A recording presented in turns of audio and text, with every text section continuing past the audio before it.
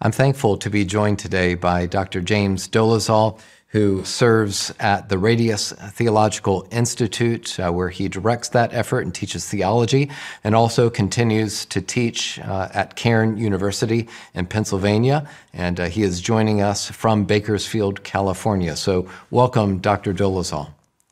Chris, thanks for having me. I'm glad to be here. And uh, instead of Scotland, uh, where we're usually chatting, uh, we have Dr. Ferguson joining us here on the Ligonier campus. Uh, so, just across the way from my office, uh, we have Dr. Ferguson, thankfully in town to record uh, some new material for the ministry. And Dr. Ferguson, I'm glad that you were able to make this trek across the pond and for us to have this conversation today. Thank you, Chris. Always a pleasure to be near you and always a pleasure to be technologically near James.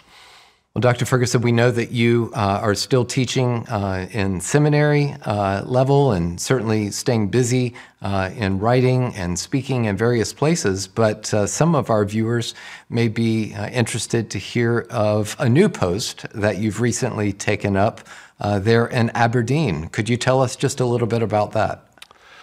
Well, yes, uh, a younger friend um, and minister approached me before COVID set in to ask if I might be able to come and help him in Trinity Church in Aberdeen. Um, and after COVID and all the logistics, uh, just a couple of months ago, um, I started uh, doing some preaching um, I'm, I think I'm called the honorary associate preacher, um, which in Anglican terms probably means the fourth curate. And uh, I'm, I'm delighted to have the privilege of sharing in his ministry. David Gibson is the minister. He's an extremely able minister. He doesn't need my help, but I think I may be the oldest Presbyterian he actually knows, and so I think he's I think he's just glad to have my friendship as much as anything else, Chris. But it's a it's a delight to be with him. Well, that's wonderful to hear. We're all thankful for your friendship, and we're thankful for your help today uh, and yours, Dr. Dolezal, as we turn to the subject of the classical doctrine of God. Now, of course, at Ligonier, we speak of theology often. So, what would you say to a Christian to help him to understand why we talk about theology and how it relates to even areas such as worship? Well, Chris, theology is really just speech about God. You know, that's the basic meaning of the idea. Um, and many verses of Scripture come to mind when we think about the importance of that for all of us as Christians. Um, think, for example, of the, the famous words in Jeremiah 9 that the wise man shouldn't boast in his wisdom, or the rich man in his riches, or the strong man in his strength. But let him who boasts boast of this, that he knows me, that I am the Lord. And those are words that the Apostle Paul picks up uh, in his letters and says this really belongs to the epicenter of the Christian life. And there, Paul is simply echoing the Lord Jesus um, in his prayer in John 17 this is eternal life, to know you, the, the true God, the only true God, and Jesus Christ, whom you have sent. So, right at the center of the gospel and Jesus' understanding of what the gospel effects, what he came to die and to rise again for, what he intercedes for at the right hand of God, is that his people, through him, by the Spirit, will come to know his Father, and therefore to come to know God, the Trinity, the Father, the Son, and the Holy Spirit, and to be able to enjoy communion with him, which is, at the end of the day, what we were originally created for uh, at the beginning. So theology is, in a sense, simply a description of all that we think of from Scripture what we learn from the grace of God in each other's lives about who God is and how our lives relate to Him, how we're reconciled to Him, and how we live for Him. And again, that brings us back to the first question answer in the Shorter Catechism What is our chief end? Our chief end is to glorify God. And if we're going to glorify Him, we must know Him. And it's as we come to know Him that we come to enjoy Him forever. I would want to echo that and just say that it's it's only in so much as God is known that we can give him worship that is proper and due to him. If we are mistaken uh, or in error about who he is, uh, then almost invariably the sacrifice of praise that we bring uh, will be confused or misdirected. I, I, have often thought that one of the reasons for getting God right, so to speak, for working hard to grow in the knowledge of God and engaging with theology is, in one respect, among others, as, as an antidote to idolatry, to guard our hearts and be sure that when we do come to Him in prayer and supplication, and when we offer Him praise and thanksgiving, and we name Him as our God, uh, that it is in fact God that we are naming uh, as God and, and not a creature that we've mistaken for Him. Uh, and theology should have that effect, not just to inform us, but to clarify and direct our hearts uh, in worship to the one proper object of our worship. Dr. Dolezal, I remember an evening with you like it was yesterday. And I think you know what I'm getting ready to uh, bring up is that moment uh, that was so special it was just not two months before Dr. R.C. Sproul went to be with the Lord. And we, of course, had no idea at that time. Uh, that fall of 2017, uh, you were here with us, and we were able to go out to dinner with Dr. Sproul and Mrs. Sproul.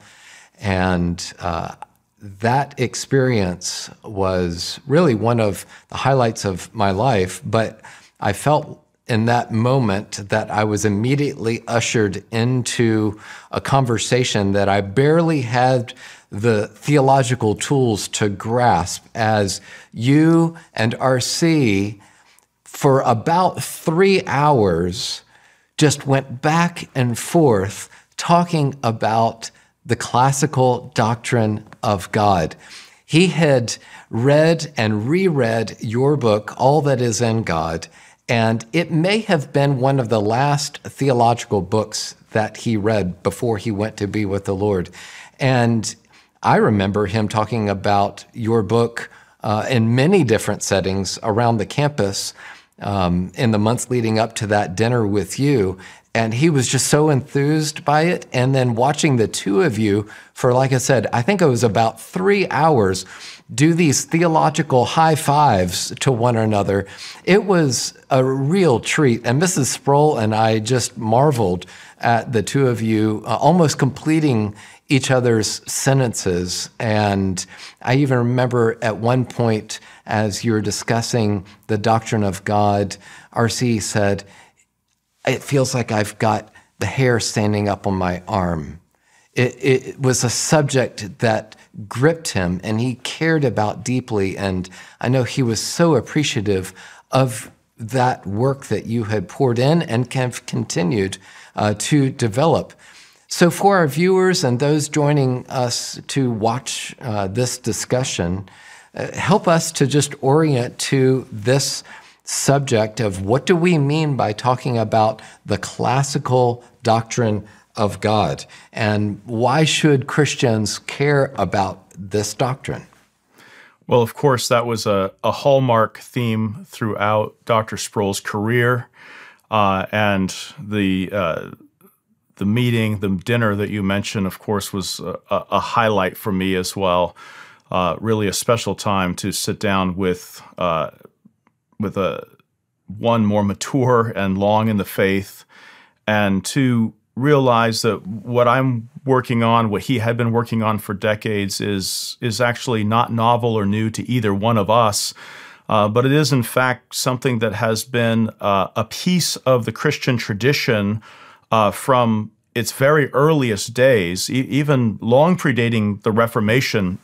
What we sometimes call classical theism is really just a, a nickname, uh, if you will, uh, for a set of doctrines that you find sort of universally held uh, down the centuries by Christian theologians from North Africa to Asia Minor to Southern Europe and to the ends of the earth, really, uh, eventually, uh, even up to Scotland, uh, you know, and, and the United States, uh, these doctrines have have been held and taught and cherished. And in particular, when we talk about the classical doctrine of God, we mean a particular view of God's attributes that, that locate him, so to speak, in that realm of transcendence that is his alone uh, and that he doesn't share with any creature. Those attributes that set him apart, not relatively, but absolutely uh, in being and in glory uh, from all of his creatures.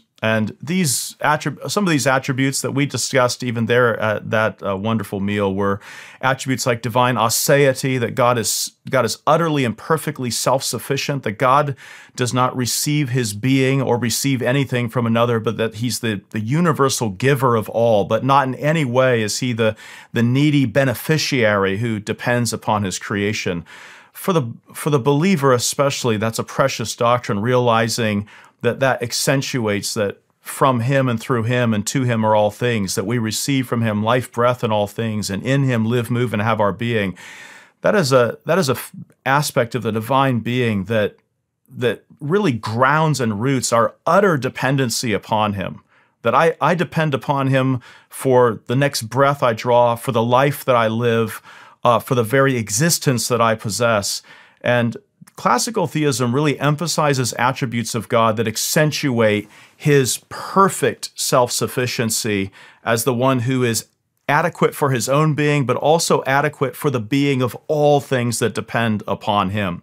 So, doctrines like divine aseity, divine simplicity as a kind of negative corollary uh, of that doctrine. Um, impassibility sometimes is, is mentioned in that list, divine immutability, and also God's timeless eternity. That God is not among the beings who are currently in process uh, toward a future state of being, but the rather he's the one that transcends the entire mutable temporal state of affairs, the one who is wisely ordering all things to their appointed end, but himself is not in process toward some end. Those, those doctrines and the doctrines that amplify that um, are certainly ones that, that animated us. And I think they animated our discussion in part because in the modern era, in the last couple of hundred years, there has been um, quite an onslaught of opposition, um, or at least a, a, reconfiguration of those doctrines to dial down their intensity. And at least with regard to the intensity of those doctrines, that's something that Dr. Sproul and I uh, shared as a common conviction. Dr. Ferguson, uh, help us to understand uh, even more uh, why Christians should care about uh, a recovery of a classical doctrine of God. And uh, Dr. Dolezal gave us a lot of terms there that hopefully we'll uh, be able to dive into here in the next few minutes. Well, I'm I'm I'm James's uh, honorary associate curate here. He is he's become a very great expert on this subject, but I totally agree with him about its importance. Um, because at the end of the day, I think what is at issue is God's godness. And related to that is that I think most, if not all, of the negative reactions to the classical doctrine of God that he's just been outlining for us are really trying to make God more manlike. And uh, I remember one of the things that Luther said in his controversy with Erasmus was Erasmus, your, your God is too manlike. And the net effect goes back to something that James also said earlier on, and that is the more manlike we think of God, the less likely we are to worship Him. So that rather than being a negative concept, the classical Orthodox view of God has been all through the church's life at the epicenter of the church's worship. Um, knowing God, trusting God, having a real heart adoration of God. The greater He is, the more we realize that though He has made us as His image, that's in a very miniature sense. He is unlike us. He is, I think here of the revelation given to Moses at the burning bush. He is the I am. Um, I, um, I am the once I was not. I am one who is in becoming. I am one who someday his heart will stop working and his brain will cease to function, and people will speak about me in the past tense. But he is, I am. And when I try to master that, I simply get a headache. If I think that my capability as a human being can fully comprehend the God who created the universe, uh, then partly I'm going to get a headache, or if I don't get a headache, I'm going to turn out to be profoundly arrogant. And in either case, I will not be a humble worshipper. And I think the reason why um, in our own time there has been so much animus against the classical doctrine of God, the aseity of God, the transcendence of God, has been because of the tremendous turn towards the self and the subjective, and the erroneous notion that often is spoken about in the literature that unless God is like me, for example, unless God uh, can suffer the way I suffer, he cannot really be uh, a compassionate God to me. Um, and you know, I think just at a very basic level, my own response to that has been to think of like two of my children are physicians. One's a surgeon, the other's a psychiatrist. Um, I, if I thought parents were going to my son and saying, unless you've experienced what my son has experienced, I don't want you to to help him. You know, that would be lunacy. Or if somebody came to my daughter and said, uh, We don't want you as our psychiatrist unless you've experienced what this person has experienced. Um, we realize the fallacy of that kind of reasoning that has driven an antagonism to the classical doctrine of God. We see the, the, the illogic of it in other areas, um, but we don't apply it to the greatest of all areas. Um, and I think that very much needs to be arrested. And that is one area in which I think uh, James's books have contributed a great deal in the present time. Can I add a footnote on that? Uh, I really, uh, I think you've hit on something. It's the it's the modern sense that the that the God of classical Christian theology is somehow aloof and distant, and we've got to reimagine him to sort of get him near and get him involved, and particularly this matter of empathy, that empathy is uniquely able to bring someone into concern and to care about my situation. And without that kind of experience and without experiencing what I've experienced the way I've experienced it, that you couldn't know or care about me as well as you might otherwise. I think that's a that's an I, I understand why people make that assumption because amongst us uh, as humans, that's certain there's certainly a great deal of truth, even if not uh, perfectly. There's something to that that having had a similar experience of like kind, we can perhaps know better or appreciate someone's situation. But I th- I think that it's perhaps a, a, mistaken presumption to assume that all knowledge and all care can only be obtained or meaningful um, if it's possessed in this particular way. Um, I, I want to submit that, in fact, the God of traditional theism, while he doesn't experience passions or time or, or any of these other things, does not, for all that reason, not care about us. Uh, but that, in fact, it's a mistake to think that only if he's like me can he care about me, or only if he knows or feels the way that I do in all of my sort of finitude and mutability, only then could he care about me. I think that's an assumption that perhaps we should challenge um, whether that's indeed the case. Chris, I think to go back to the illustration I used earlier on of Moses at the burning bush, um, we've got both a very powerful statement that I think can only be interpreted in terms of the classical doctrine of God, or it gives rise to the classical doctrine of God. But it's precisely in that context that the I am, who has his being in himself, independent of creation, uh, is everlastingly, eternally the same. is the God who reveals himself to Moses as the one who sees the need of his people, their bondage in Egypt, and has come to redeem them. And this, to me, I think underlines what James has been saying that the classical doctrine of God has never been expounded in such a way that God is removed, that he is a prisoner of his transcendence or a, a prisoner of his immutability. Um, he, he is the God who, in his transcendence, deals with the immanent, who, in his immutability, deals with our mutability.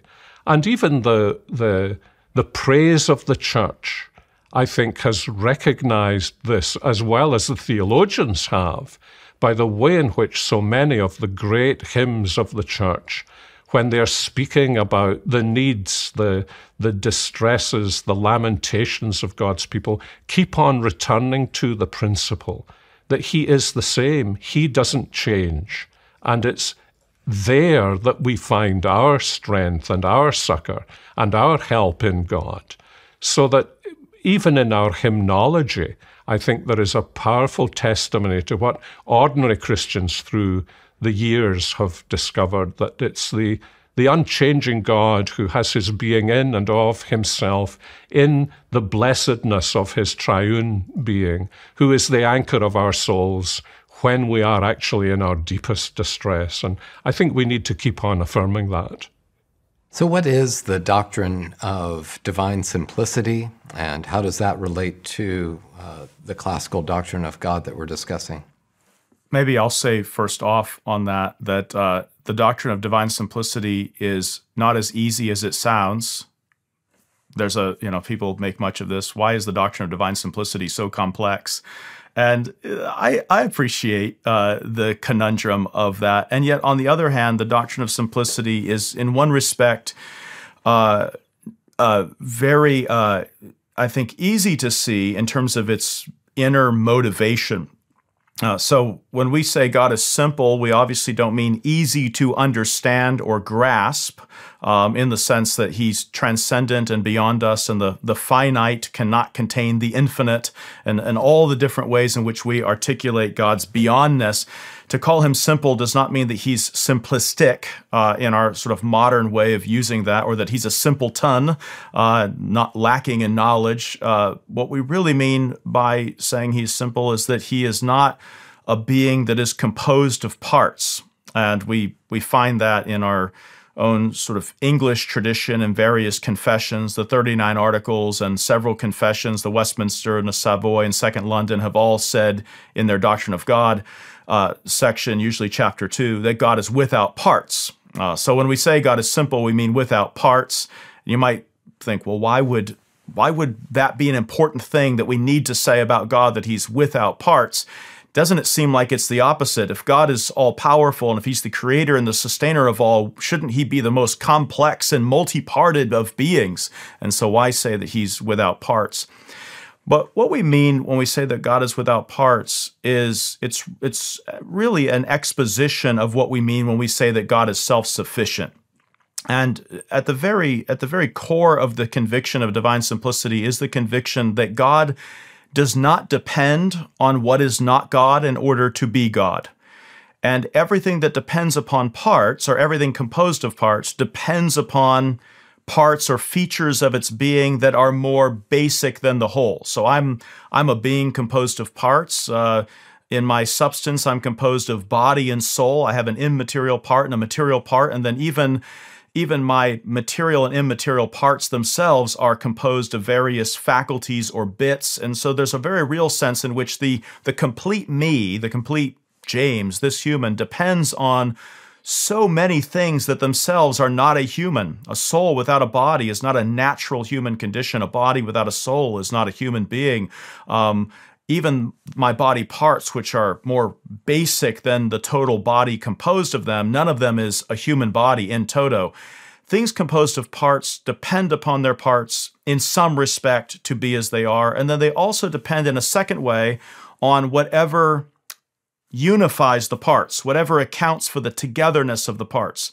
Uh, so that anything composed of parts is a is a doubly dependent being. It depends upon its parts, the way that all wholes do, and then it depends on whatever assembles or composes or puts them together. If we were to say this about God, then we would say that something not identical with God was in fact accounting for and even causing in some respect God to be God. And I think that's that's the heart and soul of this that for the Christian who believes that God does not depend on what is not himself to be himself, which I at least in my experience I find that most Christians if you put the question to them that way are committed to a God who doesn't depend on what isn't God to be God. If that is if that's a core Christian conviction, then divine simplicity is really just a way of defending and protecting that core Christian uh, conviction. Even if you've never heard of the doctrine of simplicity, it may very well be that you're already committed to the doctrine in as much as you're committed to the absolute uncaused self sufficiency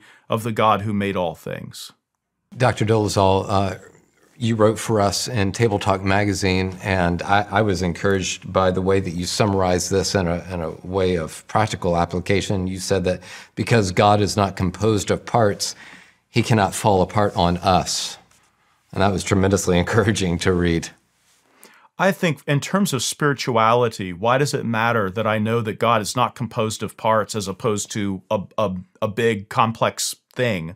And I think it does come down to that, which is that when I depend upon God, my faith, my confidence in Him does not reach to some depth of being that undergirds Him, that doesn't reach to a being that accounts for Him, that is somehow outside of Him. That when I trust God for all things, life, breath, and all things, for life, movement, for being itself, that I need to depend upon the God who Himself does not depend on another. Uh, it, and I need to also depend upon one who doesn't have the potentiality of, as it were, going to pieces. And, and I want to, again, I'll reiterate the quote.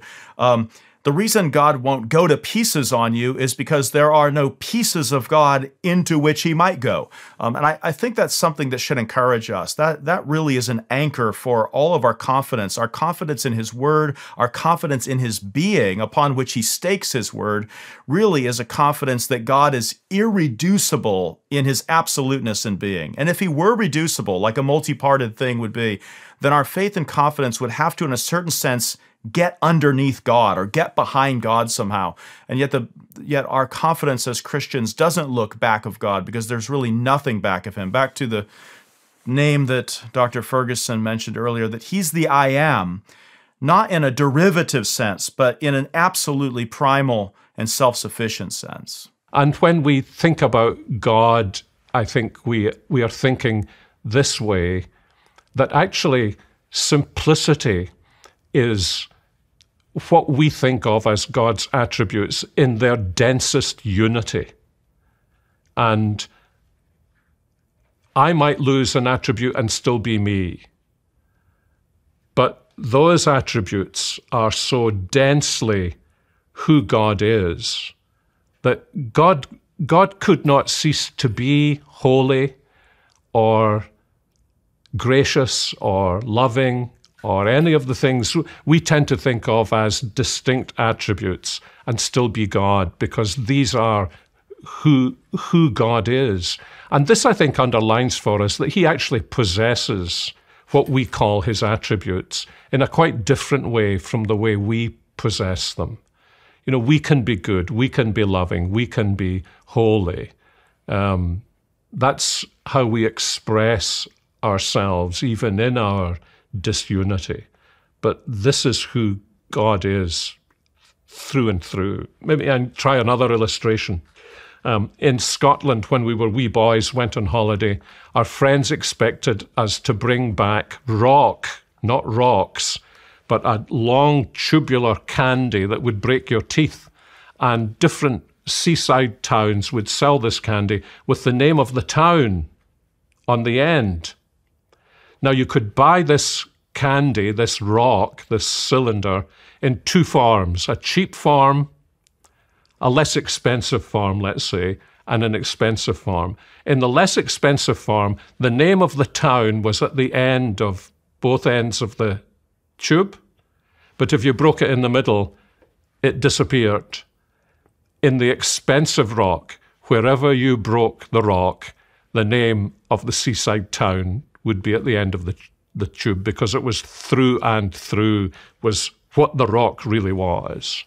And, you know, I'm, I'm the less expensive rock. Um, God is through and through all of these attributes simply because that's who He is. They are originated in Him.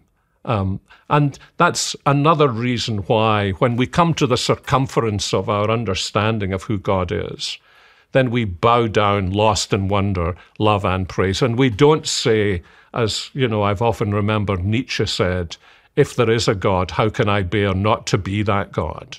We come uh, and recognize his grandeur and glory and sense the privilege that we did not need to be, uh, we might never have been.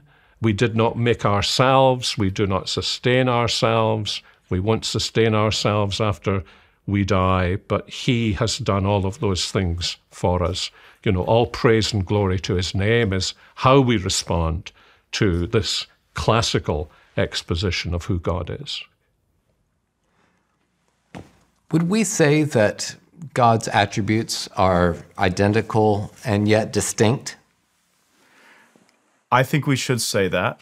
Uh, and yet, we also want to, uh, avoiding the law of non-contradiction here, say that they are they are identical and yet distinct in different senses. Uh, and so, even to a, a, point that Dr. Ferguson made, that God possesses His attributes in a way very differently than we do.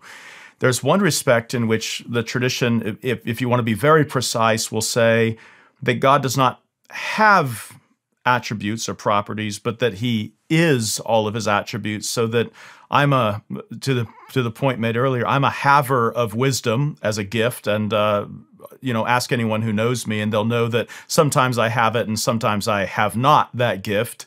Uh, that I'm I have uh, my attributes as something distinct from myself uh, as something that is a part of me uh, that may very well be a losable part of me but that God is all of his attributes. So that in one respect, God doesn't have goodness, he is his own goodness, that he doesn't have wisdom, but that he is his own wisdom. Now, we might say it in human speech that he has wisdom. There, there is wisdom with God, but in a real sense, wisdom is with God as God, not as something distinct from him that he possesses. So even the way of God having attributes, uh, he has them by identity as opposed to just simply holding on to them as distinct from himself, the way that we have the gifts he gives to us. Uh, and in this respect, uh, the question then is well, what are the attributes in God? Uh, and the answer, there's a uniform answer given to this in the tradition. And when I say uniform, I really mean this has got to be one of the most widespread, universal, small c Catholic, vanilla, bread and butter, pick your, pick your word, doctrines in all of Christian history, and it's that all that is in God is God. That there's not something in God, not God, like a God bit or something like that. There are all sorts of things in me that aren't human, all sorts of attributes that aren't identical with me, the human, and I possess them as gifts, and they certainly enhance my humanity, but they're not identical with me as this man. But there's nothing in God that is not God. And so God just is his own wisdom. He is his own justice. He is his own power. He is his own uh, mercy and kindness. Uh, so then the question is well, how do I distinguish those attributes in God himself? So in James, uh, we can talk about we can talk about uh, a bit of knowledge and a bit of kindness and a bit of strength. And I'm a bundle of all these bits kind of put together. Uh, but God's attributes are not in him as a kind of, um, you know, tight, tightly, tightly bound bundle, so to speak. All that is in God is God. So his goodness is God, his wisdom is God, his justice is God. So then the question, uh, and this is to the point you're asking, Chris, then what are we to make of the attributes with regard to each other in God Himself? And uh, I think what we should say is of all the attributes, that all the attributes in God are identical to each other, that His goodness is His wisdom, is His justice, is His power. but that there is a distinction with regard to the conception that we have of those attributes. So that when I think power, the conception in my mind is not the same as what comes into my mind when I think wisdom. And when I think wisdom, that's not conceptually identical uh, to justice. And so that we should argue that we're not simply um, speaking synonymously. When I say goodness and wisdom and love and justice, and I attribute those things to God, I'm not simply repeating myself because each one of those terms has a different conceptuality. And I can only think through those things, so to speak, bit by bit so that the attributes are conceptually distinct in God. But when we say that they're not really distinct, what we mean is that there isn't an ontological unit of goodness next to an ontological unit of power, etc., for all the other attributes. And then what God is, is the bundle of units some somehow kind of glued together. All of those things in God are just, Paul calls it theotes, godness. Um, but I should also hasten to add that while there's a conceptual distinction with a real identity, that doesn't, in saying that, I would hope it is not understood that I'm claiming to comprehend that. Meaning, I, I can't comprehend an absolutely simple God. Um, I know why he must be simple because he can't depend upon parts not identical with himself, and that's how composite things are. So I know why I must say he's simple, but I don't comprehend the simplicity that I attribute to him.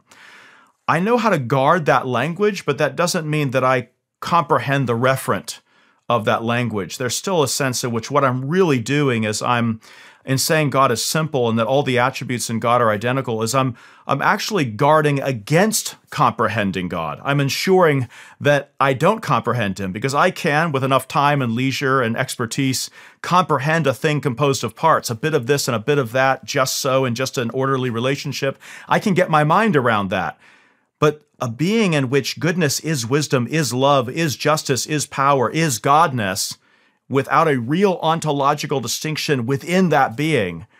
I know why I must say that, but I cannot imagine, I can believe, but I cannot imagine uh, what I've said with that kind of language. But to the question, doesn't this just make all the names for God synonymous?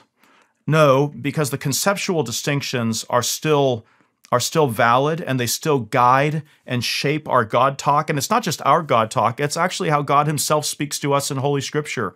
When He lisps and babbles to us as to babes, as Calvin says in the Institutes, when He does that, He, he speaks to us with the conceptual distinctions with which we're familiar and which are drawn from creation itself. And he gives us language drawn from the created order by which to begin to speak truly about him. What we need to be careful of, though, is thinking that the the modality or the manner of our God talk is, in a certain sense, a one to one map of the manner of his being. So, a, a, a, kind of easy illustration of this is just to say, even the statement God is simple is not a simple statement.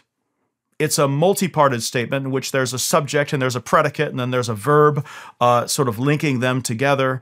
Um, so that there's a sense in which the manner of my God thoughts and the manner of my God talk drawn from my creaturely situation and drawn even from the creatureliness of Scripture, um, contours the way that I think and speak about God. What I want to be careful of, though, is trying to map out some ontological structure of God in Himself based upon my finite, multi parted human way of thinking about Him. Maybe that's a lot to take in uh, in one statement, but I think to your short answer, yes, we can talk about identity of attributes and distinction with regard to our conceptualities. Chris, if I can um, uh, piggyback on that, I think this is a very important thing uh, for people to understand, very important thing pastorally, um, that we recognize on the one hand God's godness, and He is altogether other than we are. Um, and in a sense, I think in Romans 1 18 to 32, Paul is saying, we can read that off creation. Um, and if Paul could read it off creation, if David could read it off creation in the Psalms, how much more should we be able to read God's godness of creation? Because it looks as though we know and understand far more about the sheer vastness of creation than our forefathers did. And um, it's not, forgive the language. It's not rocket science for us to conclude that the God who made all things visible and the things that are invisible to us and anything that is actually in its very nature invisible must be other than we are. Um, uh, some time ago, I, I was sitting in, in the garden and I had an ant land on my sleeve. Um, and I, I went into a kind of slightly melancholic soliloquy about this ant and thought, I mean, I am, I am majestically great by comparison with this ant. But the contrast between this ant and myself is minuscule by comparison between myself and the being of God. So, that on the one hand, God's incomprehensibility, but then on the other hand, God's self revelation. Um, that he, is, he has actually created us as His image and likeness. And therefore, He has created us in such a way that we are able to apprehend Him, although we can't comprehend him. And not only has he made us that way as, as, ref, as reflecting himself in such a way that there may be mutual communication between us, but as James was saying, he's actually provided us with the categories of that uh, communication from his side and from our side, so that he legitimates the language that we use that for example, distinguishes his power from his wisdom, um, or his righteousness from his love.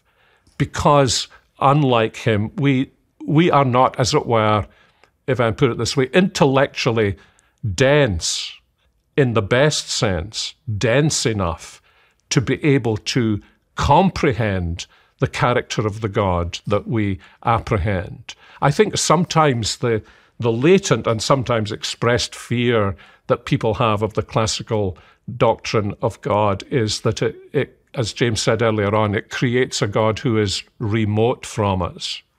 But the classical doctrine of God, emphasizing his simplicity, emphasizing uh, these attributes, has always been held hand in hand with this principle that we all know from Calvin that God has always accommodated himself to us. And even the creation of man as his image um, was a, an accommodation of himself to us so that we might know him, trust him, apprehend him, love him, live for his glory, enjoy him, ultimately be, be with him forever. So I think when we take the whole Bible representation of the classical doctrine of God, there's, there's no reason for people to fear either that this is a God who is far away but not near. This is a God who, who dwells in the high and holy place, yes, but he's also the God who comes and dwells with those who have a humble and contrite heart. And when we therefore grasp the whole biblical emphasis. We have, on the one hand, the unchanging God who is our refuge in a very changing world. And we're able to hold together in this beautiful existential balance the, the adoration of this God and at the same time the consciousness of the deep friendship of this God. And that's been the story of the church throughout the generations, I think.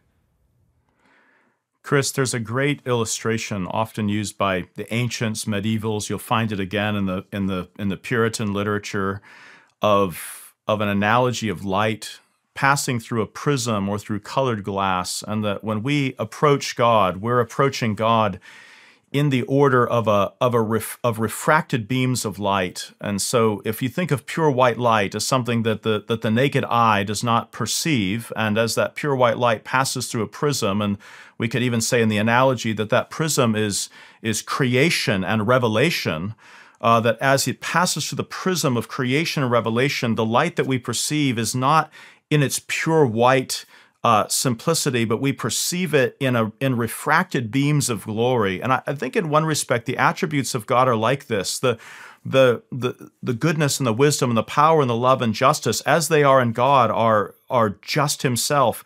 I think as we think about this analogy of light passing through a prism and approaching God in that refracted spectral glory, there's something about this that even corresponds to the way that Scripture speaks about. And when Job says in Job 26, when we perceive the power of God in the mighty thunder and in the great and awesome deeds uh, that we perceive in nature, that these are but the fringes of his ways. And then Job even says, how faint a word we hear of him. Uh, and you think about this that all the all the revelation of God in nature and even the revelation of God in scripture while full and abundantly full of truth are but the fringes of his ways. They are but the faint word that we hear. There's a sense in which the, the glory of God exceeds our most exalted thoughts of him. That doesn't make our thoughts true or untrue I should say. It just makes our thoughts creaturely. It means that while I have a thought of the infinite I don't have an infinite thought of the infinite while I have a thought of the God who is simple, I don't have a simple thought of the God who is simple, that there's always this transcendence of God, and yet even that is not to push God out of the frame, so to speak, or render him aloof, but it's simply to say that God draws near to us by accommodating the manifestation of himself, whether those are through his mighty acts or even through the words that he gives us in Holy Scripture, that all of these are like that light in Solomon's temple. While the heaven of heavens cannot contain God, there is a sense in which God is pleased to dwell among his people in a light that he calls Shekinah and that he places in their midst.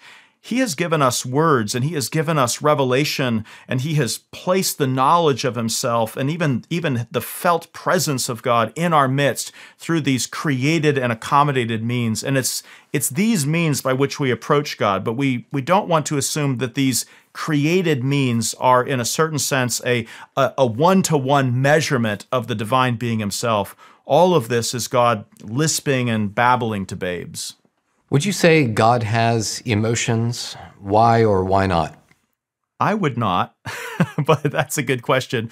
Uh, but I think we need to qualify that. Uh, we would want to qualify that heavily. Um, our our Reformed confessions and even the medieval and patristic literature would all say that God is without passions. And so, if by emotions uh, is meant sort of the equivalent of passions, uh, then I would want to not say that God has emotions in that respect. And, and what I mean in particular is by passion, a, a passion is a state of being, usually a state of mind or soul, that is entered into by a process of undergoing. And in fact, that's what passion means. Passion means to, to submit or to suffer or to undergo. Now, it doesn't always mean that we're undergoing an experience of pain. You can undergo passions of pleasure as well. To to fall in love is to move from a state of not loving to seeing something or someone lovely and then having your heart moved to desire the goodness of that individual. But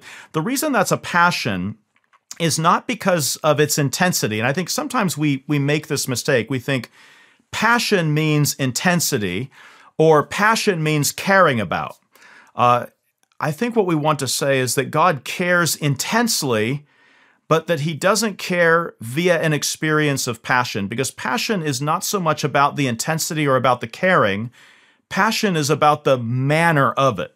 Um, and so, what we would want, what I would want to say is that God's care for the world is not a state of of being in God that is, in a certain sense, um, enacted by the world's operation upon him. That God isn't waiting for the world, so to speak, to stir him up. That God isn't made to care. So when I say that God is without passions, I don't mean that he doesn't care. I mean that the care that God has for the world, whether you're talking about his love for his elect or even his general provision for the just and the unjust, that care that he has for the world is not something that he's moved to by the world, but rather out of pure generosity, it's something that he lavishes on the world. The same thing I should, we should say, though, even about his holy opposition to sin, that it's God's nature as holy and as one who loves his own holiness to by nature be infinitely opposed to all that is opposed to his holiness, so that God's hatred for sin and his utter holy detestation of that which is ungodly is not so much an emotional state that God enters into after previously not hating sin, but that rather it's God's nature to be opposed to sin, really as the as the, the the flip side of the coin. If God loves his own holiness, then an aspect of his love of his own holiness is in fact a, a hatred of all that is opposed to his holiness. So that when we talk about God's love or God's hate, we don't want to think of these as passions, as states of being that God sort of enters into via a process of experience, but rather that it's his nature to love and that it's his nature to be opposed to all that is opposed to his holiness and goodness. So, in that respect, we can say God cares intensely about his own creation and about the righteousness or wickedness of his own creatures, but that this is not a care that, in a certain sense, God was waiting for the world to make him care. And so, in that respect, um, historically, we've said God is without passions, but by no means have we meant that he doesn't care about the world. I don't know if that gets at the, the question, Chris, as you were as you were conceiving it. But if by emotions we mean does God care, then certainly we should say God cares perfectly. Um, is God made to care? Then we should say that God isn't made to anything, but rather He's the maker of all, um, and maybe draw the distinction uh, that way. Chris, maybe I can um, just uh, develop this a little by uh, saying um, I think sometimes we we get into difficulties here because we are thinking in a, a man-like way, um, things that are important to us, and if these things are not true of God, then that further makes us feel that God is distant from us. And there are several things that I think we need to come back to saying.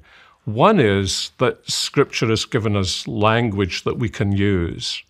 Um, and it's always appropriate for us to go back to the point that God has given us this language, He's revealed Himself in this way, and it's appropriate that we think of Him in this way.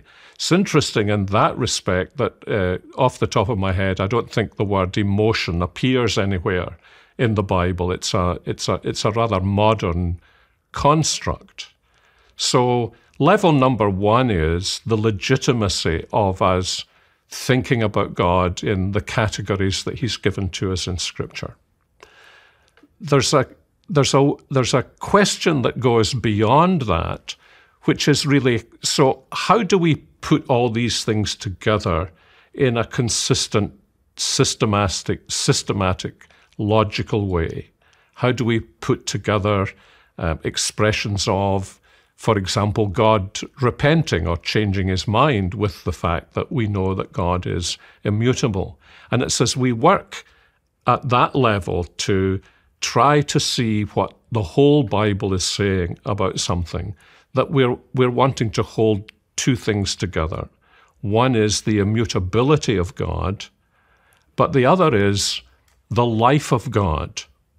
So when we speak about the immutability of God or the impassibility of God, we're, we're not thinking of God as another photograph on our, on our smartphone, uh, as though God were like stuck in a moment um, with no expression on his face. Uh, what we're actually thinking about is a God who is full of life.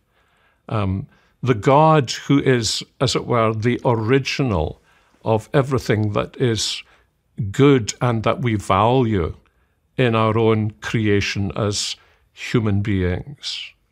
But we never confuse the original with the, the small scale copy. And we realize that what we may experience as emotions if we can, as it were, see them in their holiest form, they have their origin in God Himself. But God is not man. I mean, I think uh, again and again in our theology, um, even in, in, in some good theologians, we keep falling to the temptation that we can be as God. Um, and one of the things James has been emphasizing here a number of times now is just to remember that we're not God. I remember my Latin teacher at school telling us that when a Roman general had a triumph, they stuck a slave in the chariot with him who said two words over and over and over and over again, and I think they're great words for us as theologians. Homo es, remember you're a man, and you're only a man. You'll never be anything but a man. When you die and are raised and live with God in eternity, you'll still be a creature, you'll still be a, a human being. Do not give way to the temptation to think that you will ever be as God. You will never be happy if you fall to that temptation. Now, when it comes to the actual language, then I think theologians have differed in their use of language, sometimes without defining what they mean by that use of language. So, for example, B.B. Uh, Warfield, whom we all appreciate, uh, says at one point that a God without em- an emotional life would be no God at all. Um, that could easily be misread. And I doubt very much if uh, what Warfield is saying is that God has an emotional life like ourselves. I think what he's saying is that in, and this is a very important element to introduce into the conversation, uh, even if we've not time to develop it. The God we are speaking about is the personal triune God, who in the unity of his being in all of these characteristics that we call his attributes is eternally expressing and enjoying these attributes in his own being.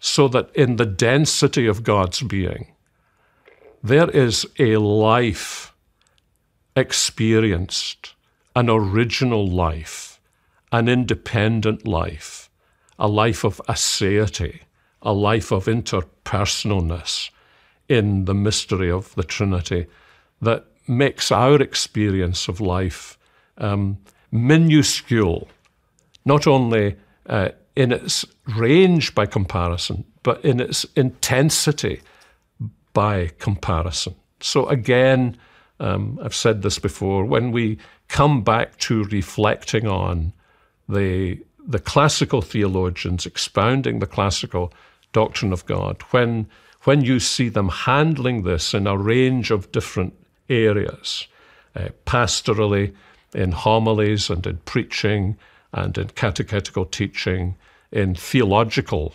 writings, um, they keep coming back to this principle that we are talking here about the three person God who has life, all life in himself and all attributes in himself in their original form.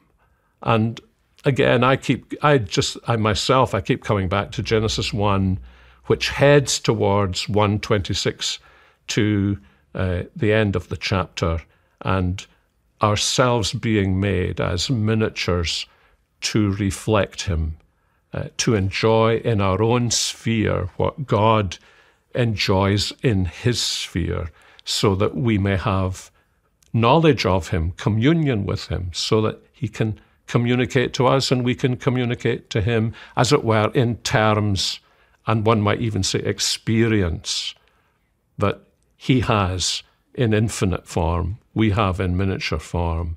And that enables us not to absolutely comprehend him, get our arms round him and say, Now I've got you, but to apprehend him, to know him, to trust him, to love him, and to adore him. So I think we're back to this mantra um, that the classical doctrine of God is actually the doctrine of God that provides most pastoral help for, uh, for the Church of Jesus Christ in every generation. I just wanted to just footnote on that that the emphasis on fullness of life is important so that again not frozen in a moment that there's not a kind of lifelessness a, a stoic stillness in god but it's it's really the boundless fullness of life. So that impassibility is actually a consequent of fullness of life not of imperfection. Some i think uh, one theologian said that such a god would be a metaphysical iceberg. Uh, I think that was the late Clark Pinnock. But in fact, it's exactly the opposite. Uh, it's because God is so perfectly boundless and abundant in his life, in his goodness, in his being.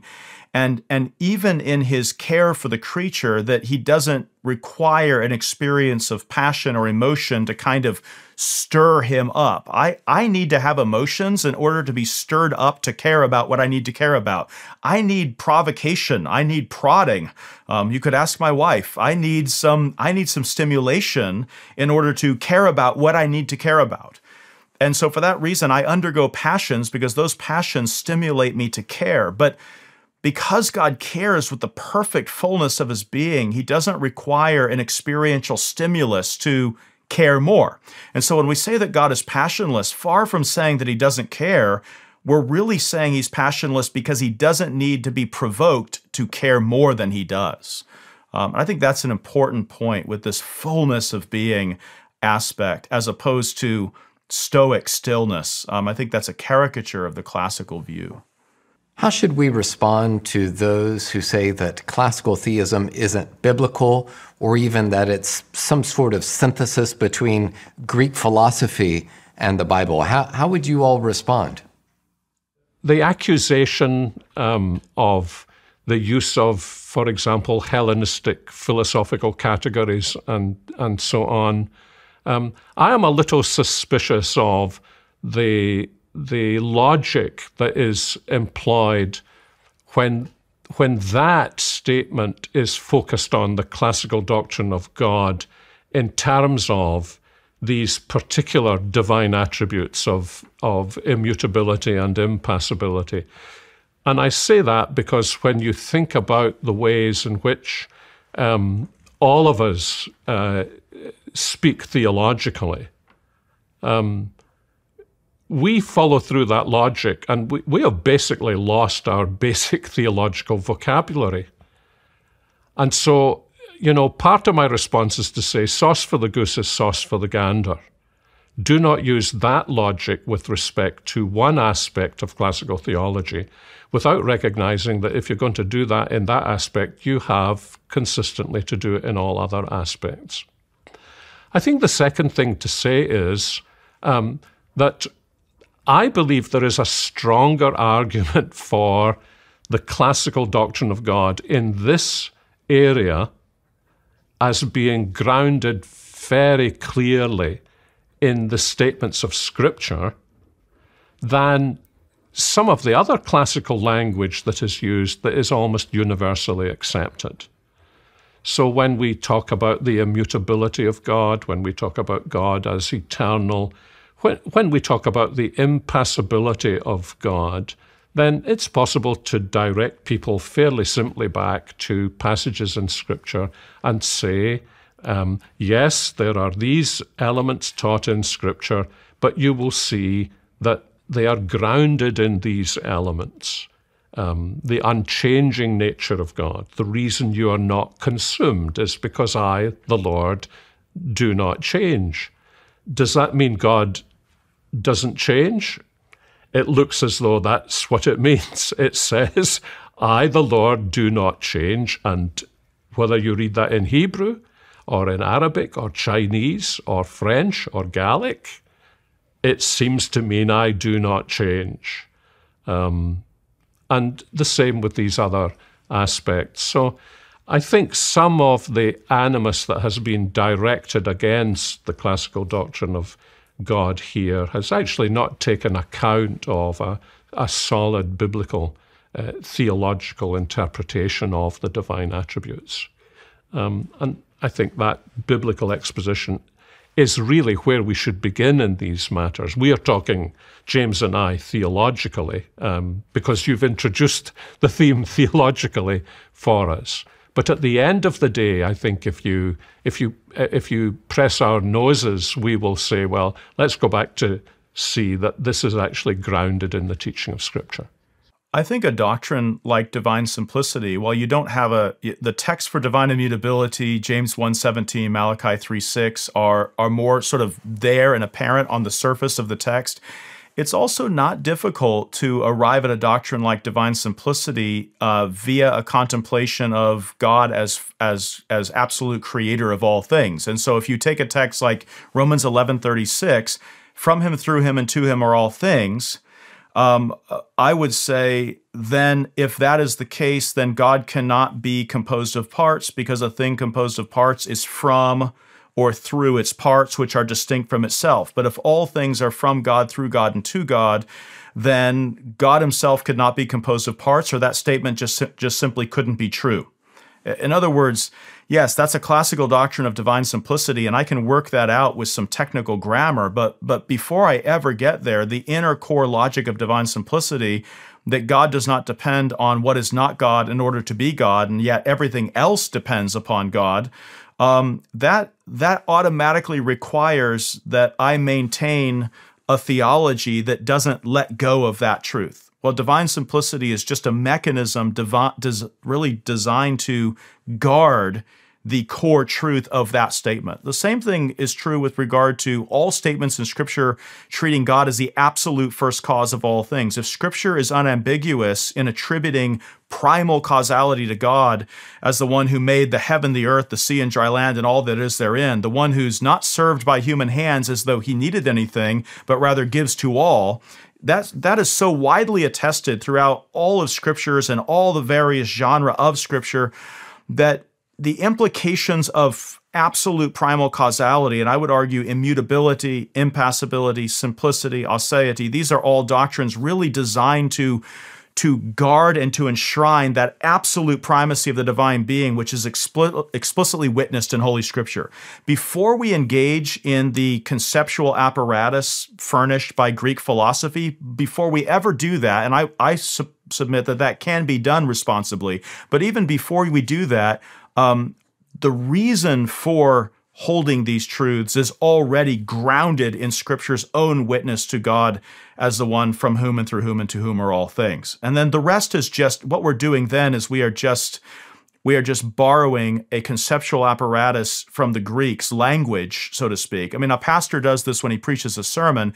He borrows the language and the idiom of his people, of his time, of modern science or uh, or other sort of modern arts, and he deploys them as tools to amplify the teaching of Scripture. And the Christian theologian can certainly do this. And it's, it's not just even the conceptual apparatus, there's also a sense in which, even in their darkness and in their unbelief, we should say that some of these pagans saw more truth than other pagans. Uh, so, for instance, when when Aristotle says that God is an unmoved mover, um, I would argue that he's not wrong. He's not as right as he could be. Um, there are certainly so many things that make that an inadequate or less than fully adequate description of God as creator and redeemer. But there's a certain truth in it. That truth needs to be held on to. It probably needs to be amplified, and it certainly needs to be situated uh, with a biblical conception of God. But we don't want to simply say, well, you're a pagan. Uh, I think of the words of Augustine of Hippo that wherever the Christian may find truth, it is his Lord's. Um, there's a very real sense in which whoever has the truth, um, we, we shouldn't despise them because of their pedigree, not because we esteem them as men, but because we esteem the truth. Um, and in this respect, I think that if even even in the pagan tradition, if there's a truth to be had, the Christian can certainly appropriate it because truth does not conflict with truth, and the God of nature and the God of Scripture is the same, and he is not opposed to himself. And I, I think if we I, I, I know that there's a lot of modern concern with that, but there's a very real sense in which if you're going to make what's called the, the Hellenistic argument and say, well, that's from the Greeks, we don't accept Greek pagan contributions, then I think we have to recognize that even among the Greeks, there is a vast difference. Uh, Greek, maybe Greek philosophers might have denied that the first cause of all things is passible. But certainly Greek religion, if you read, if you've read the Homeric epics or, or any of the literature of that period, Greek religion certainly believes in passible deities. And so the question, so simply to say, well, you hold to an impassible God, that's from Greek philosophy. Um, then we should ask the question then why isn't a passible God just simply a maintaining of something from Greek religion? And, I think it's important to understand that the Greeks themselves um, do almost galactic battle with each other over questions like whether God is beyond be- God is beyond all being or whether he's just one of the beings up on Mount Olympus. The Greek religionists and the Greek philosophers were in fact deeply entrenched against each other with their understandings of deity. Um, so the uh, so sort of the accusation, well, that's from Greek pagan heritage. I, I would want to ask the question: Greek philosophers, Greek religionists, uh, because even they do battle with each other. The interest, the, our interest is not the pedigree of the idea. Our interest is whether it is true and whether it can be squared with Scripture. By the grace and gift of God, can I put that into the service of a biblical and true theology? So, to sum up, uh, and trying to bring this uh, conversation that feels like we're, we're just getting started in truly, um, perhaps we have an eternity to continue this conversation. Uh, how would you advise Christians to better uh, and more rightly speak of who God is? Maybe I can begin again, Chris. Um, in general, what we want to do is to take our Christian friends to Scripture um, and to explore the riches of Scripture. Now, I think perhaps to some Christians, the conversation we've just had could seem a little recondite. We've just been talking about Greek philosophy. Um, you know, most Christians may not be too familiar with too many Greek philosophers or their philosophy. Um, but we first of all take all to Scripture. But then we also recognize that when we're trying to take the whole of Scripture and to speak the whole of Scripture into the contemporary world, we're actually all always taking categories, language categories that we don't find in their original form in Scripture in order to do that. So, to go back to the previous question about the influence of Greek philosophy, um, it's easy to criticize the employment of Greek philosophical categories um, like substance uh, in the doctrine of God, in the doctrine of the Trinity, and to completely forget that every time we communicate the gospel, we're, we're using secular philosophical categories. And I, it would be an interesting PhD study for somebody to use to see the transitions through the centuries from the way preachers and Christians in general have used what are actually the philosophical categories of their own era in order to communicate the gospel to that era. So that is always a second level study in which we're sitting back and answering the question how do we put the whole of Scripture together? So that from the point of view, for example, of a pastor in the church, in my experience, it's, it's relatively unusual for a pastor actually to have as a focus in a series of expositions the doctrine of God, the character of God uh, who God is. I remember many years ago, I think I may have been a teenager when I came across A.W. Tozer's book um, on God. And uh, when I came to the United States to teach in seminary, there was a man who worked for the seminary um, who had been in the same denomination. And I said to him, um, Are there any recordings of A.W. Tozer, who I knew was not wholly sympathetic to certain aspects of Calvinism, but had been a serious preacher. He went into the trunk of his car and he gave me a dozen tapes of sermons of Tozer, and I listened to them on a long journey. And I thought, I wonder if in the 1950s, I wonder how many other preachers within the vastness of American evangelicalism were seeking to communicate the greatness of God to their congregations the way A.W. Tozer was. And I rather suspected from what I knew then and what I've seen since that it was pretty infrequent. Um, and so it shouldn't surprise us, I think, that we sometimes feel our evangelicalism is shallow, nor should it surprise us that our worship is light. Um, that, as David Wells uh, used to say, you know, in a sense, God has lost all of his weight. He's no longer the weighty God of Scripture.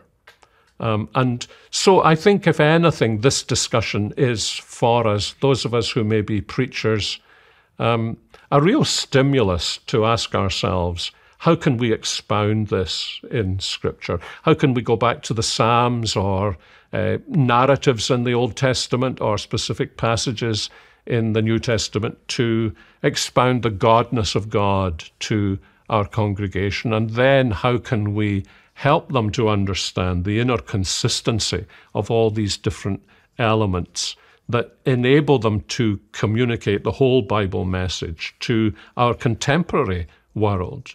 by uh, using, yes, the categories of the present time, but also the categories that the church has found serviceable all through the centuries. And not only that, but um, all of our categories are ultimately inadequate, but the church has never found more adequate categories than the categories that were hammered out and forged in the first few centuries of the Christian church. So to me, um, to me personally, the stimulus of this is to better expound what Scripture says about God, so that we may become in our own uh, day and generation, as for example, the text in Daniel, are people who know their God and therefore do exploits, because that's the crying need of our day. That's really the motif of R.C.'s book. Everyone's a theologian. Um, and when everyone is a theologian in that sense of coming to the knowledge of God, then our worship will be so transformed that, as one of the early fathers said, it will be our worship that destroys the temple of the pagan. And we are crying out in our own day when the world is full of pagan temples of all kinds, for the worship of God's people to be so transcendent in its character that the Dagons of this world are destroyed by comparison with the transcendence and glory, and yes, the human emotion that's involved in the worship of what the New Testament calls the one who is our great God and Savior. Dr. Dolezal, closing thoughts? Well, I would like to echo uh, Dr. Ferguson's uh, emphasis, first of all, on know Scripture. If you want to speak about God rightly, know Scripture well, uh, and be full of it uh, in your in your mind. Uh, memorize it, spend time with it, uh, grow to know the God of Holy Scripture.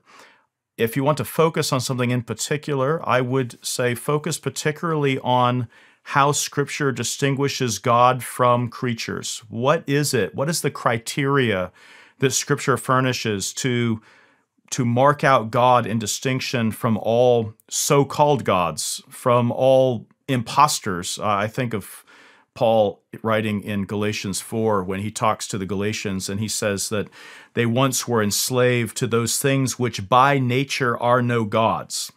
So if you thought that you were going to be able to escape the whole uh, obligation to understand divine nature, um, it turns out that uh, we need to focus on the divine nature so far as it has been revealed to us so that we don't confuse that nature with the nature of impostors and of idols. To, to guard our hearts from idols requires that we have a knowledge of the truth. If we're going to discern fool's gold, then we're going to have to know what gold is.